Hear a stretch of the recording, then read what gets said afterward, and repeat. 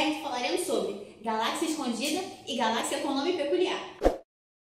A imagem que vocês estão vendo é da galáxia IC342. Embora seja brilhante, a galáxia fica perto do Equador da Via Láctea, onde o céu está cheio de estrelas brilhantes e poeira obscura.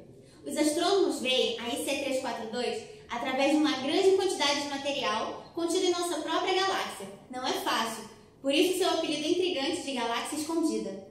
Em 2003, os astrônomos confirmaram que o núcleo era de um tipo específico, conhecido como núcleo HII, um nome que indica a presença de hidrogênio ionizado, indicando a criação de estrelas quentes. Nem todas as galáxias têm o luxo de possuir um nome simples ou um apelido peculiar. A 2XMM143450.5 mais 033843 fica quase 400 milhões de anos-luz da Terra. Ela foi detectada e observada como parte da segunda pesquisa de raio-x realizada pelo Observatório XMM Newton da ESA. Suas coordenadas celestes formam o resto do nome volumoso.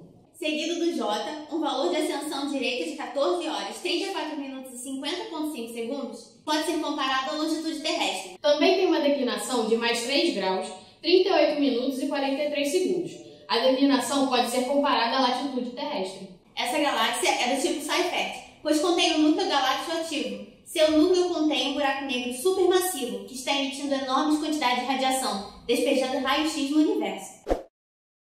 Esse foi a Astronomia de Perto na semana que vem.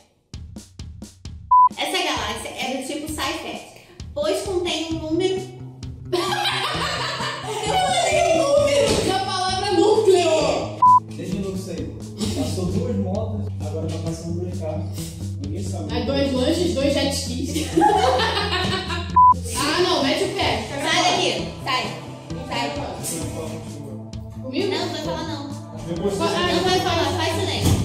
Sete acabou. Vai espirrar lá fora.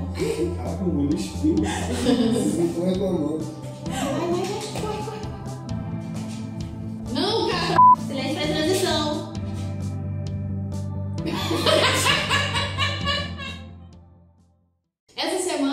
aniversário do nosso roteirista. E desenhista. tec- Desenhista, técnico de luz e faz tudo Que lá. a gente não consegue fazer. que a gente não consegue fazer exatamente. O Eduardo, ele é uma pessoa muito legal, muito solista. E eu não vou ficar elogiando ele aqui não, porque eu não sou É. elogiar os outros não. Mas ele sabe que ele é bom. Parabéns, Parabéns!